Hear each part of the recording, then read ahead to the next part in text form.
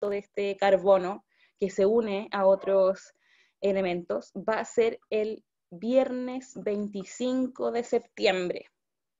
¿Ya? Ese día va a estar disponible la prueba en webclass para que la puedan realizar. Así que escríbanlo si tienen un chat de grupo para que se lo informen los compañeros que no han podido conectar a la clase. Y no se olviden, ¿ya? Va a ser una prueba que va a estar conteniendo todo lo que yo les he mostrado ya en, la presentación y obviamente prueba de química viernes 25 de septiembre. Ahí nos ayuda la Miss Claudia. Así es. Entonces, en esa prueba contempla todo lo que hemos visto en clases, ya tanto eh, conceptos de las características, por ejemplo, del carbono, qué le pasaba al petróleo, ya lo que vamos a ver en esta clase, cuáles son las características de estos hidrocarburos, y también ejercitación, nombrar cadenas, reconocer qué tipos de enlaces hay, ¿ya? Para que se vayan preparando. Eh, quiero que a todos les vaya bien. Si tienen dudas, chiquillos, no duden en consultarme. Ya yo estoy aquí para enseñarles para que esto sea menos estresante de lo, de lo que ustedes ya me han dicho y que están cansaditos. Por lo tanto, el objetivo de la clase de hoy es nombrar la cadena principal y las ramificaciones en un compuesto orgánico mediante el uso de la nomenclatura UPAC. ¿Ya? ¿Quién es la UPAC? La, la universidad, eh, eh, la, Universidad de la Química Pura, ya que nos reglamenta y nos dicen, ya chicos, todo el mundo va a nombrar de la misma forma estos elementos a partir de qué? De las reglas que ya comenzamos a ver la semana pasada para los alcanos. Vamos entonces a recordar un poquito que la clase anterior básicamente lo que hicimos como tarea fue nombrar estos compuestos. Las tareas que me llegaron están muy bien hechas, pero para los que les ha costado un poquito más o no se recuerdan, vamos a realizarlas aquí en la clase para que obviamente puedan todos comprender. De la misma forma me hacen llegar las tareas, chiquillos. Yo tengo que llevar un registro de quién está respondiendo con estas actividades. Por lo tanto, el primer elemento, o sea, el primer compuesto que nosotros estamos viendo ahí, ya sabemos que es un hidrocarburo, porque son carbonos unidos a hidrógenos, ¿ya? Pero tengo que saber cómo nombrarlo. Y lo primero que dijimos en la clase pasada es que cuando nombráramos una cadena, teníamos que identificar la que tuviese la mayor cantidad de carbonos, es decir, la cadena más larga. Entonces yo miro este, este primer hidrocarburo y me doy cuenta, lo voy a hacer con un, con un rojo para que se vea. ¿Ya? Este es nuestro primer hidrocarburo y este es nuestro segundo hidrocarburo. Vamos a partir por el 1. Entonces, la cadena más larga, que contiene más carbonos, es la cadena principal, es la que está de manera lineal, porque si ustedes lo cuentan en todas las direcciones, no va a haber otra cadena más larga. ¿Por qué? Porque esta cadena que yo acabo de encerrar tiene 2, 4, 6, 8, 9 carbonos. Si yo encerrara otra, ya tendría menos, menos de 9 carbonos. Entonces, tiene nueve carbonos. Nuestra cadena, ustedes podrían poner ahí que tiene nueve carbonos. Ya reconocimos entonces nuestra cadena principal, que es de donde salen estas ramificaciones que yo tengo que nombrar.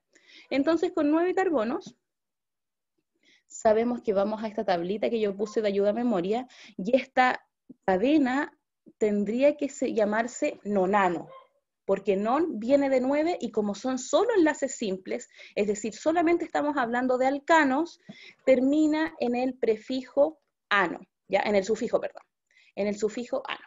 Entonces, vamos a identificar cuáles son estas ramificaciones. Esta ramificación de aquí las voy a poner en amarito, en amarillito. Esta es una ramificación porque está fuera de mi cadena principal. Esta es otra ramificación que está fuera. Esta es otra, esta es otra y esta es otra. Es decir, tengo cinco ramificaciones dentro de esta cadena principal. Por lo tanto, yo debo nombrar las cinco ramificaciones.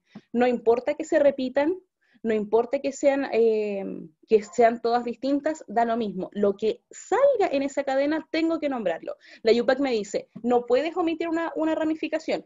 Todas son importantes, pero ¿cómo le voy a dar lugar a esas ramificaciones es lo que vamos a ver ahora.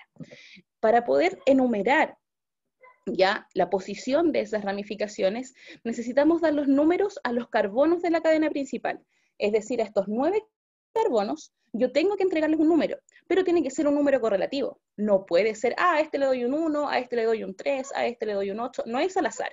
Entonces, ¿cómo voy a identificar qué números corresponden? Vamos a nombrarlo, eso, muy bien, Anyara. El número que está más próximo al radical, el que está más cerquita de esa ramificación. Si yo me voy de la derecha hacia la izquierda, mi primera ramificación estaría en el carbono 1, 2, estaría en el carbono 3. Vamos a ver qué sucede si me voy, si parto por la izquierda, hacia la derecha. 1, 2. Efectivamente, tengo una ramificación que está más cerquita, que sería este metilo que está en el carbono 2. Por lo tanto, nombro de izquierda, enumero, perdón, de izquierda a derecha. Vamos enumerando. Vamos a borrar aquí. Voy a borrar aquí estos numeritos de aquí y vamos a seguir con otro colorcito. Entonces este es el carbono 1, carbono 2, carbono 3, carbono 4, carbono 5, carbono 6, carbono 7, carbono 8 y carbono 9. ¿Dónde tengo ramificaciones?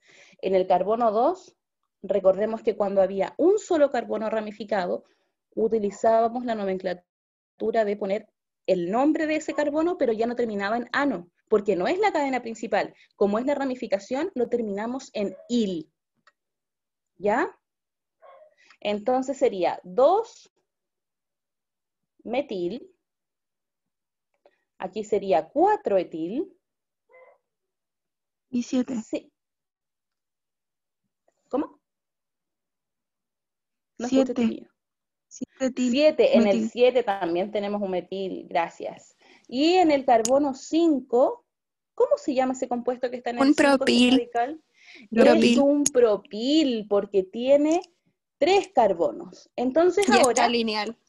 Que está lineal, entonces no es ese isopropil ni ese terbutil que se distribuyen de distintas formas. Como es lineal, lo llamamos propil. Recordemos que solamente cambia la terminación de la cadena principal que ocupamos alcano, nos cambiamos a esta, a esta determinación il o hilo cuando hablamos de eh, ramificaciones lineales, ¿ya? Entonces, la UPAC dice ya, una vez que tienes identificado los carbonos, la cadena, o sea, la cadena principal, el número de carbonos, la cantidad de ramificaciones, numeraste los carbonos, identificaste cómo se llama cada ramificación, estás en momento de nombrar tu compuesto completo. Entonces, ¿cómo vamos a darle el orden a esto?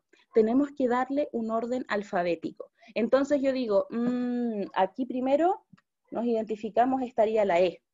La E va primero, por lo tanto este compuesto sería el 4-etil. Lo separamos ya con, perdón chiquillo, lo separamos ya a nombrar ahora el que viene. ¿Qué pasa después de la E? ¿Quién vendrá? La letra Viene el metil. 2, 5, 7 metil. 2, 5 y 7 trimetil. 5, muy bien, coma 7. ¿Por qué vamos a poner el tri, chiquillos? Porque, Porque tenemos tres. Tenemos que identificar que tenemos tres metilos.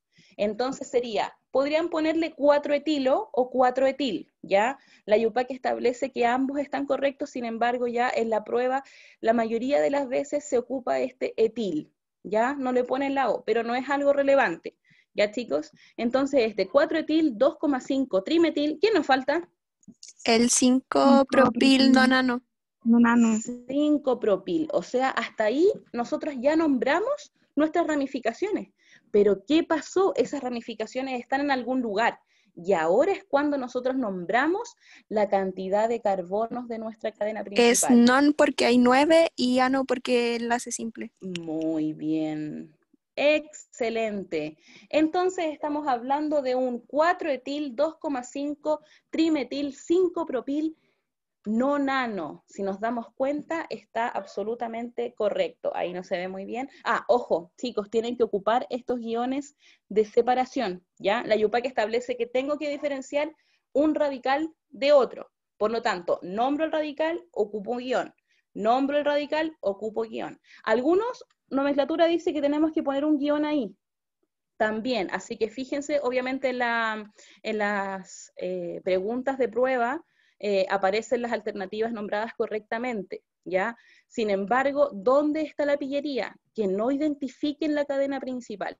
Que ustedes digan, ah, no, es esta que está aquí, es la lineal, y resulta que había escondida una configuración para dar una cadena más larga. Así que ojo con eso. De la misma forma entonces que hicimos el primero, vamos a identificar el segundo. ¿Quién me podría decir cuál es la cadena más larga de, esos carbonos? Es la principal, que serían ocho carbonos. Muy bien, muy bien.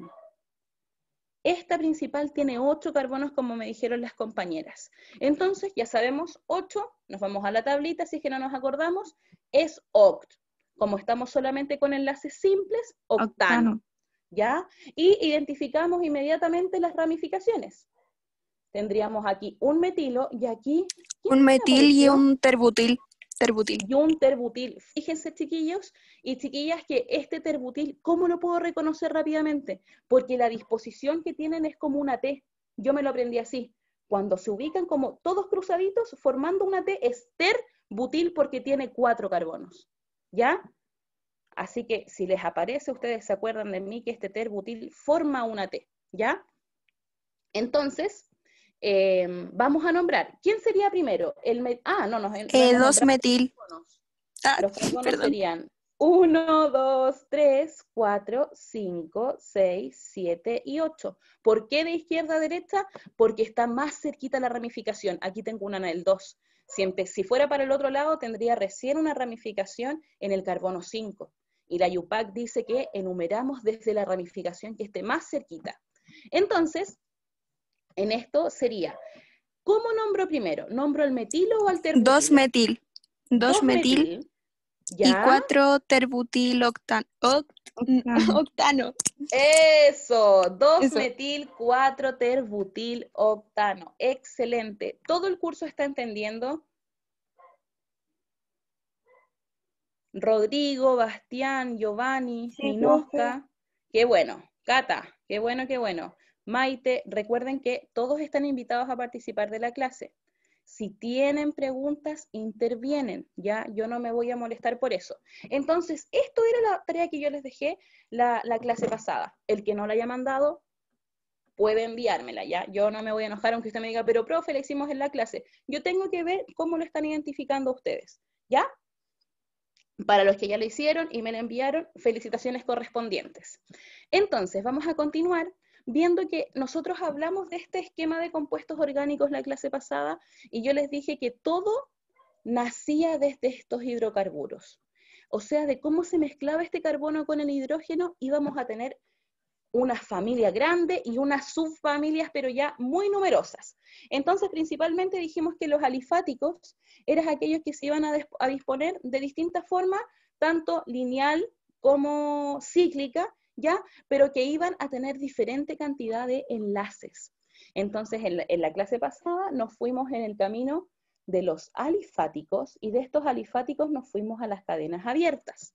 Y estas cadenas abiertas son las lineales que ustedes observan, donde podemos identificar la cantidad de hidrógenos, donde aparece dibujado ya el carbono y todo eso. Sin embargo, solamente vimos las saturadas porque nos dedicamos a conocer a los alcanos. En la clase de hoy lo que nosotros vamos a realizar es estudiar qué pasa cuando este carbono comienza a insaturarse, es decir, cuando, comienza cuando comienzan a haber eh, compuestos que son alquenos y alquinos. Cuando Se incrementan los enlaces, ¿no? Se incrementan los enlaces. Muy bien, muy bien. En alquenos doble y alquinos triple enlace. Súper bien, excelente.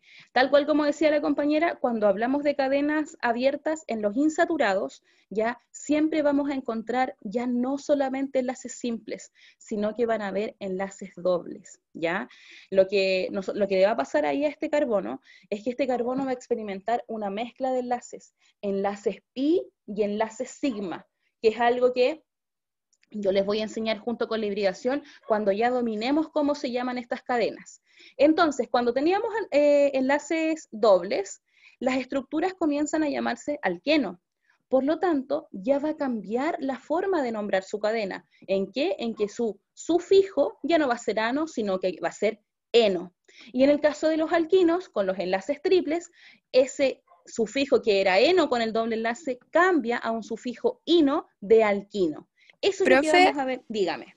Una pregunta. Eh, ahora para enumerar la cadena en, el, en los alquenos se debe empezar por el que esté más, más próximo al enlace.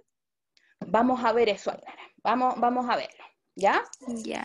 Muy, muy bien esa pregunta. Vamos a responderla entonces en la medida de que vayamos avanzando en la clase.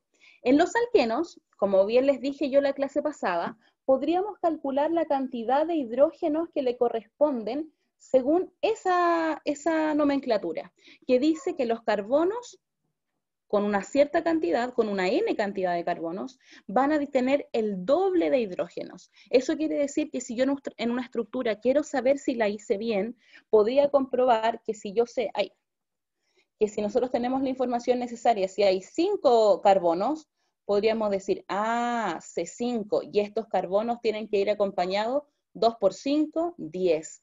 Esos 5 carbonos tienen que tener acompañados 10 hidrógenos.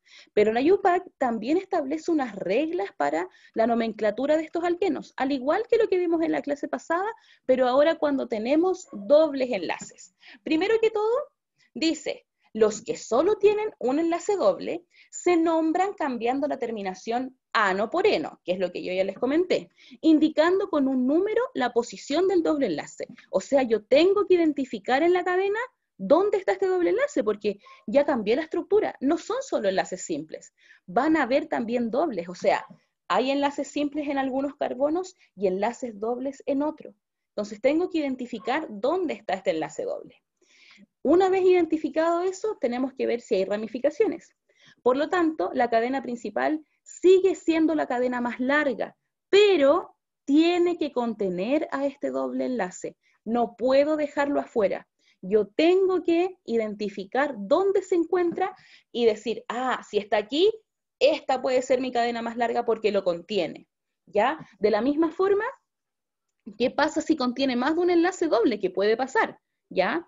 Eh, lo que nosotros vamos a escoger es la cadena más larga que contenga al mayor número de dobles enlaces. De repente van a haber cadenas donde no podemos, hay tres enlaces dobles y la configuración de esa cadena no nos da para que la cadena principal los abarque a todos. Intentamos abarcar la mayor cantidad de enlaces dobles, Y finalmente la cadena se va a numerar, tal como preguntaba la compañera, de forma en que las insaturaciones y las ramificaciones tengan la menor numeración posible dando preferencia siempre al doble enlace. En los alquenos, nosotros nos vamos a preocupar también de las ramificaciones, pero si tenemos una ramificación y un doble enlace, por ejemplo, tuviéramos una cadena aquí, voy a hacer una cadena de tres carbonos y aquí voy a poner, no, de cuatro carbonos.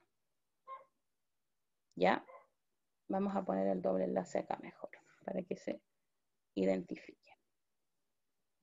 Entonces, imagínense que ahí tengo un doble enlace y que aquí voy a tener un metilo. Ahí, voy a tener un metilo, entonces aquí me falta un hidrógeno, aquí me falta un CH3 y mm, aquí me falta un CH también y aquí me falta un CH2. Entonces tengo 5 carbonos, tendría que tener 10 hidrógenos, saco la cuenta 3, 6, 7, 8, 9 y 10 ese alqueno está bien construido, ¿por qué? Porque tengo el doble de hidrógeno según la cantidad de carbonos. Entonces ahora, chicos, yo podría preguntar, ¿por dónde, cómo, cómo nombraríamos esa especie? De derecha a izquierda se empieza a enumerar. Ya. ¿Y por qué no de izquierda a derecha si también tengo una ramificación ahí? Porque ahora se prioriza el doble enlace. Eso es lo que yo quería ejemplificar para todo el cuarto medio B y C. Fíjense chicos que acá mi cadena más larga sería esta. O podría ser eventualmente esta de acá, que también tendría cuatro carbonos, ¿ya? Pero por efectos de, de pizarrita vamos a dejarla que fuera lineal, ¿ya? Entonces, si es lineal, ¿contiene mi doble enlace? Sí, lo contiene. Estoy cumpliendo con la UPAC. Pero ahora tengo que darle la prioridad a mis carbonos. Yo podría decir 1, 2, 3 y 4. Sin embargo, como yo tengo un doble enlace y una ramificación, en en un carbono, en el segundo carbono, tengo que darle prioridad ya a este doble enlace. ¿Ya, chiquillos? Eso es para que se entienda. ¿Ya? Entonces, una vez que ya hemos determinado estos cuatro pasos, estas cuatro reglas que tenemos para enumerar a estos alquenos, para nombrarlos de la manera correcta, vamos a ejercitar. Entonces, ¿cuál es el nombre de las siguientes estructuras? ¿Quién viene por aquí? Ah, ya. Ahí, ahí sí, que no había visto el chat. Entonces dice, ¿cuál es el nombre de las siguientes estructuras? Creo que ya lo tengo. ¿Crees que ya lo tengo? Ya, ¿quién más se motiva aparte de Lanyara? Romina, Catalina, eh, Jennifer. Vamos entonces, Bastián. ¿Quién se anima a identificar cuál es la cadena más larga? Eh, la principal, y sería 3 propil y un exeno, ¿o no? Ya, ahí vamos, vamos a ver. Vamos, vamos a ver. Entonces, ¿quién se, quién se anima a identificar esta cadena más larga? ¿Quién está de acuerdo con Anjara que me está diciendo que la cadena principal es la lineal? estoy de acuerdo que la estoy de acuerdo que la cadena principal es la lineal. Ya, muy bien. Es la más larguita, ¿cierto? Es la lineal la que tenemos aquí en, el, en la horizontal. Entonces vamos a hacerlo. Ahí ya la compañera nos, nos compartió una respuesta, vamos a ver si llegamos todos a la misma conclusión. ¿Esta sería mi cadena más larga? Sí, es esa. y tiene seis carbonos, entonces ¿Y es qué pasa Si yo, ¿Y qué pasa si yo hago esto? Aquí contaríamos seis carbonos. Pero ¿qué pasa si yo hago esto, chiquillos? Miren. Esperen, voy a cambiar el color. Si yo hago esto, ¿cuántos carbonos tengo?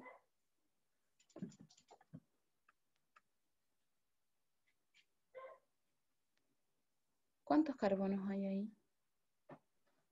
Pero no se puede por el doble enlace.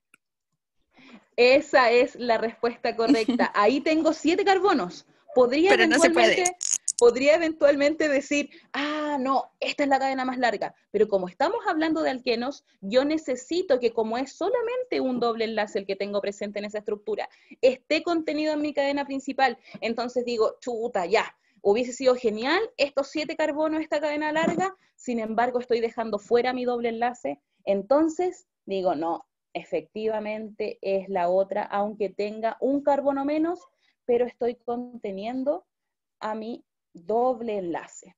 Entonces tenemos seis carbonos, tendría que ser X por 6. Y como estamos hablando de alquenos, le agregamos el eno. Ya sabemos que esa es nuestra cadena más larguita. Vamos entonces con la ramificación. Nosotros tendríamos que este es el carbono 1, este es el carbono 2, 3, 4, 5 y 6. ¿En qué carbono tengo la ramificación de esa cadena? En el 3. En el 3. Y es un eh, propil. En el 3, muy bien. Y en eso, como tiene tres carbonos, es un propil. Por lo tanto, ¿cómo lo llamaríamos? ¿Sería tan fácil como decir 3 propil exeno? No, un exeno. Porque el enlace doble está en el primer carbono. Eso, muy bien. Entonces tendríamos tres propil, un exeno. ¿Por qué? Porque tengo que hacer relevancia dónde está ubicado mi doble enlace. Si yo no le digo dónde está mi doble enlace, ¿cómo podría una, una, un estudiante como ustedes, si yo les entrego la prueba solo el nombre y les digo que realicen la cadena, si no les digo dónde está el doble enlace, ¿dónde lo ponen? donde ustedes quisieran y eso no corresponde. Yo tengo que indicarles dónde está el doble enlace para que ustedes puedan hacer, obviamente, la estructura. Chicos, esto es eh, en dos direcciones. ¿A qué me refiero? Yo podría entregar eh, la estructura y que ustedes nombraran la cadena, o yo podría entregarles el nombre de la cadena y que ustedes hicieran la estructura, ¿ya? Vamos a ver, obviamente, qué, es lo que permite la, la plataforma del webclass para poder eh, realizar la prueba lo más entretenida posible, donde puedan desarrollar todo lo que han aprendido, en lo que yo espero que estén aprendiendo en las clases, ¿ya? Entonces, vamos a continuar. Fíjense que esta estructura ya no tiene solo un enlace doble, sino que tiene dos. Y tuvimos suerte porque esta estructura que tiene dos enlaces dobles los pueden contener en su cadena principal. Ahí da lo mismo, pues porque tienen en la misma ubicación el radical. Y también los Son dobles enlaces. simétricas. Si nosotros cortáramos esta molécula por la mitad, se abrazarían y quedarían perfectamente. Por lo tanto, son simétricas, tienen eje de simetría. Lo que está desde el metil hacia la izquierda es igual que lo que está desde el metil, o sea, hacia la izquierda, hacia la derecha. Entonces, si yo lo doblo, este efecto espejo funciona. ¿Ya? Entonces, vamos a nombrar esta cadena. Carbono, cinco carbonos. ¡Ay! Ahí sí. Cinco carbonos. Estaríamos hablando de pent. Y como estamos en enlace doble, ponemos penteno, porque esa es nuestra cadena más larga. Uno, dos, tres, cuatro y cinco. Cinco carbonos. En el, en el carbono 3 tengo un metilo. En el carbono 3 Pero, profe, en este caso no sería pentadieno, porque hay dos enlaces, pues.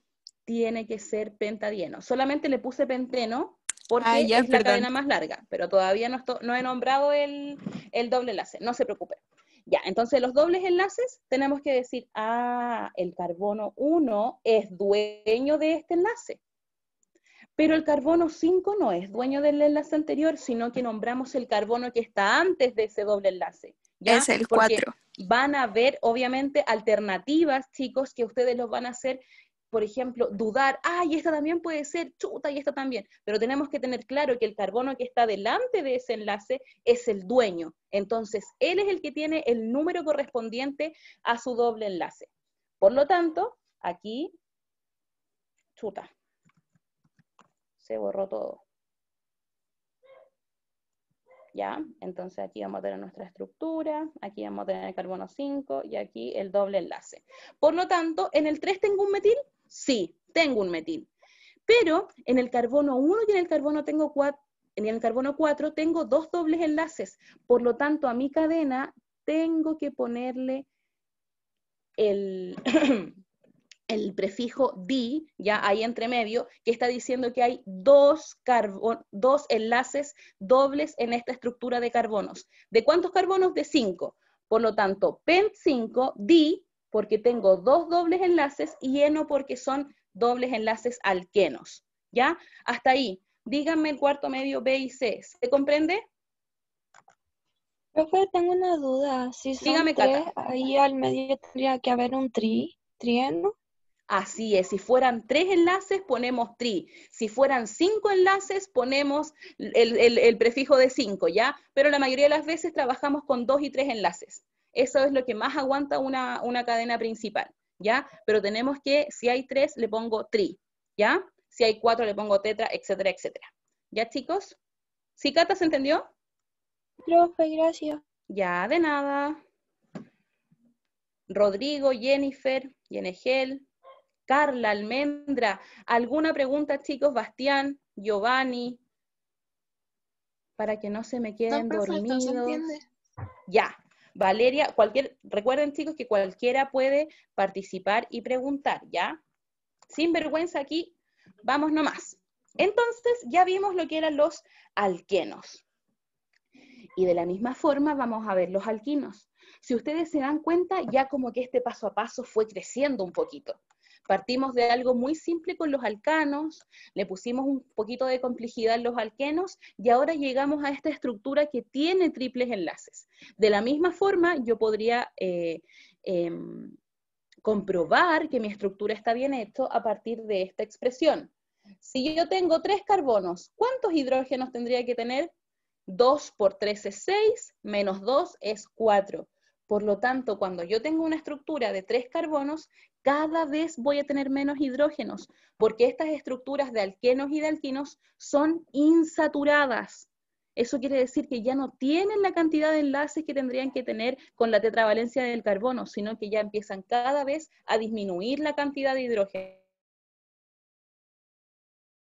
regla para, para nombrar, para nombrar perdón, la nomenclatura de alquinos ya consiste en el mismo paso a paso que nosotros hemos visto, pero ahora tenemos que modificar algunos aspectos. El número uno me dice, lo- los que solo tienen un enlace triple se nombran, se nombran cambiando la terminación ano por ino. Eso ya lo teníamos claro, que al quino le vamos a agregar esa terminación ino. Y siempre tenemos que indicar, obviamente, dónde está este enlace triple.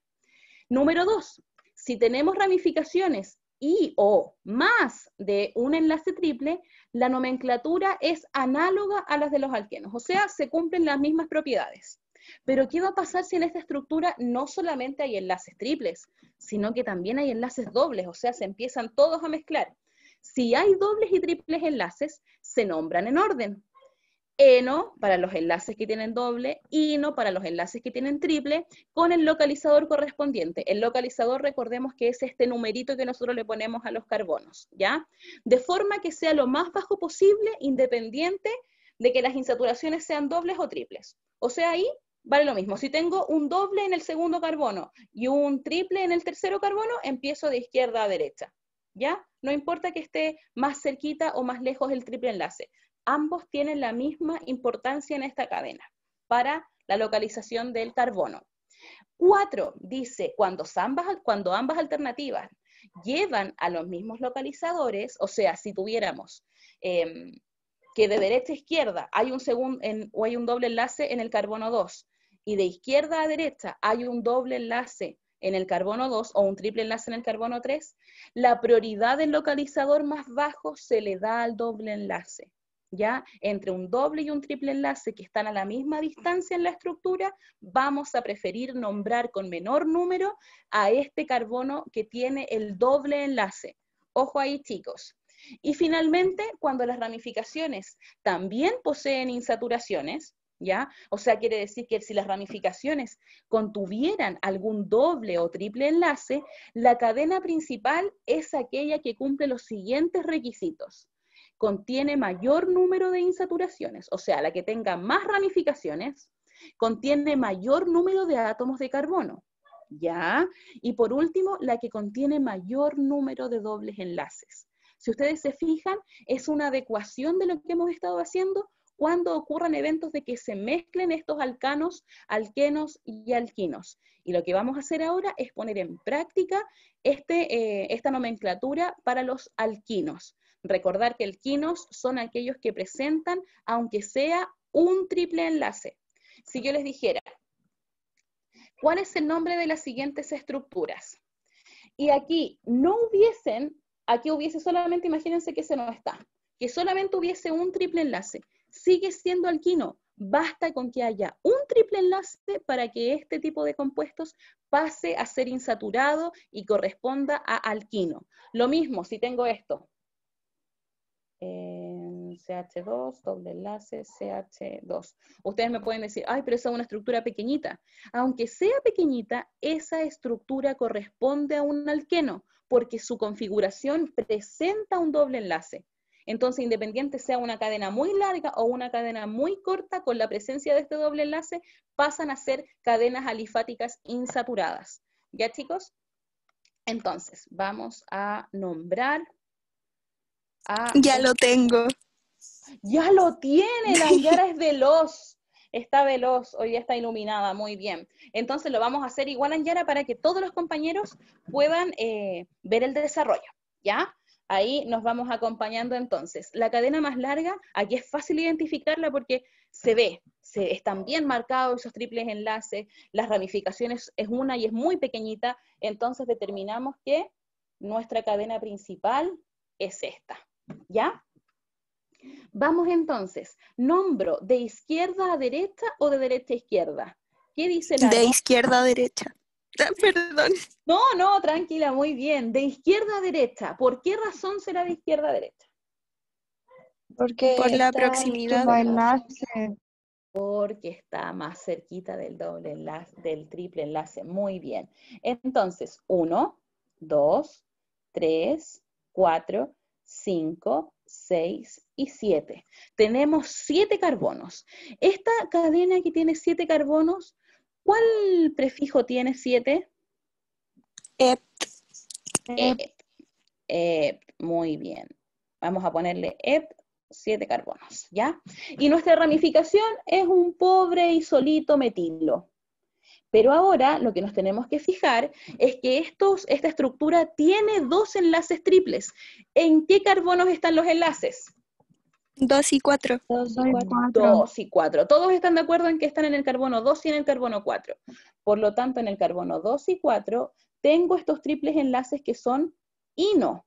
Pero como son dos, Sería Tengo- di y no. diino. ¿Se dan cuenta? Se empieza como a, a desconfigurar ahí la, el- la nomenclatura. Sin embargo, nombramos primero, obviamente, la ramificación, que sería 6-metil, y luego nombramos la cadena que tiene eh, triples enlaces. Entonces sería 6-cetil, eh, 2,4 heptadino.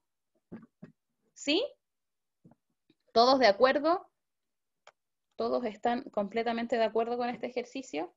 Eso, deditos para arriba, muy bien. Vamos entonces a dejar este, esta y esta. Ay, ay, se me corrieron todos, ¿por qué? Ya.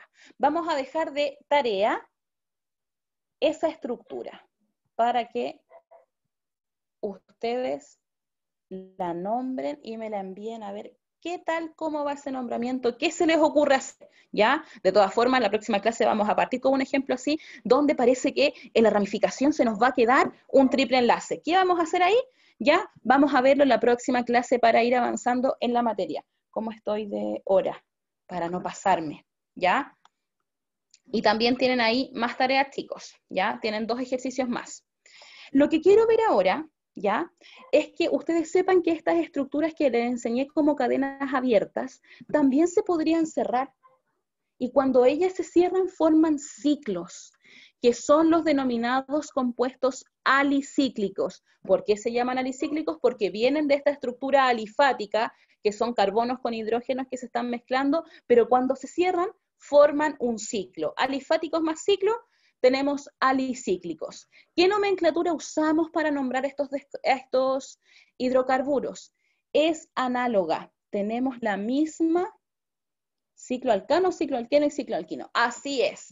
Esta nomenclatura, entonces, es la correspondiente a estos hidrocarburos lineales que se cerraron, entonces formaron ciclos.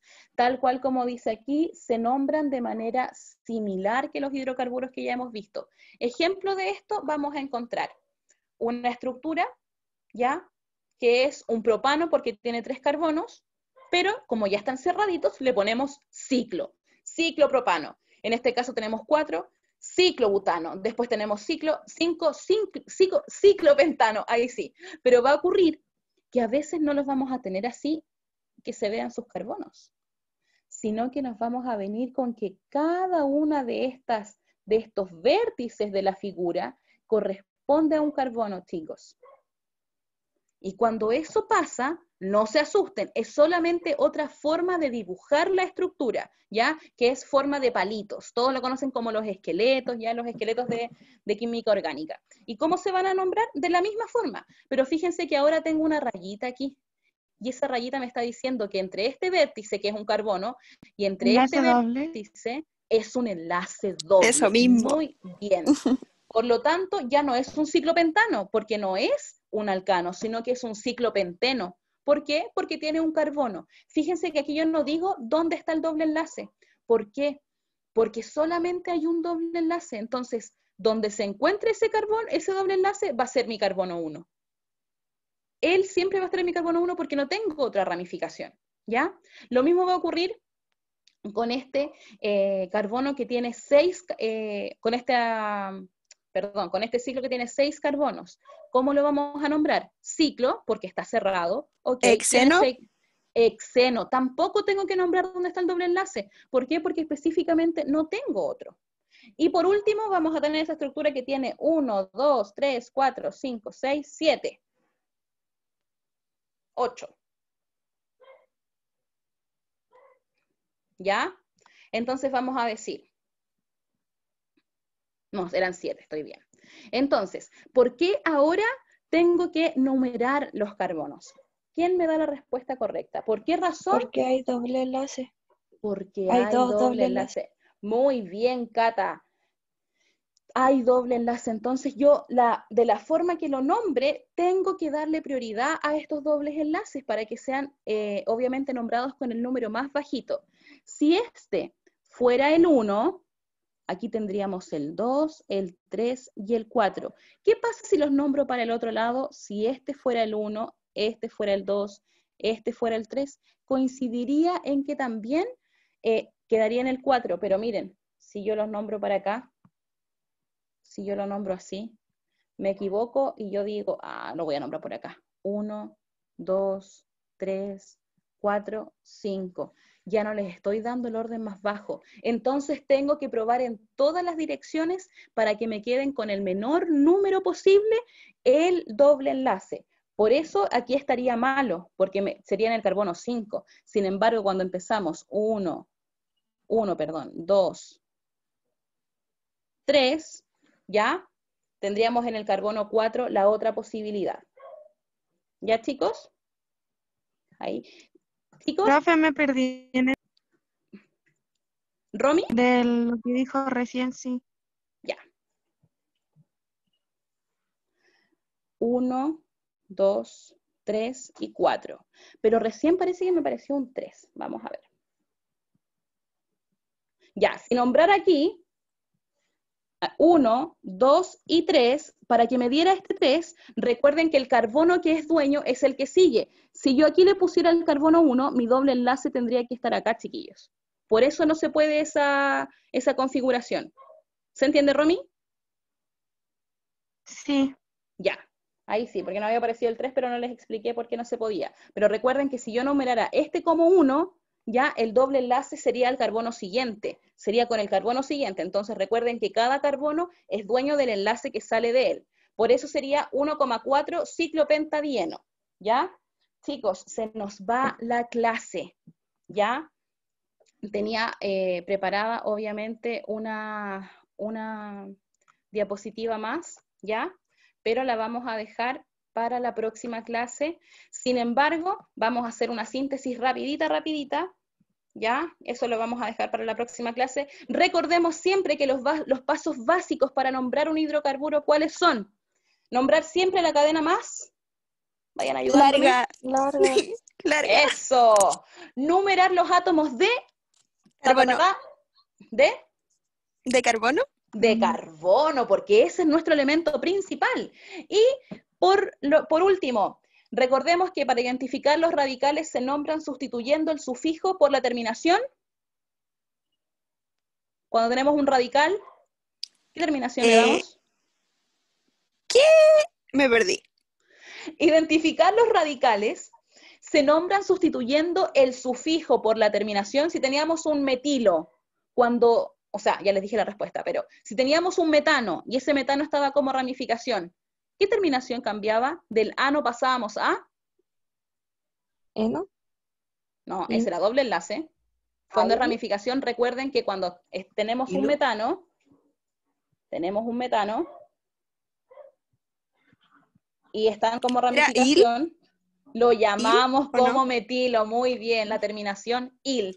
Y ahí va a ir un Buenísimo. pequeño, un pequeño ejercicio ya, como un esqueletito para ver quién se anima a responder cómo se llama esa estructura. Les voy a mandar el power, ¿ya? Y nos vemos la próxima clase. Voy a dejar de compartir, a ver si los puedo ver. Ahí. ¿Ya, chicos?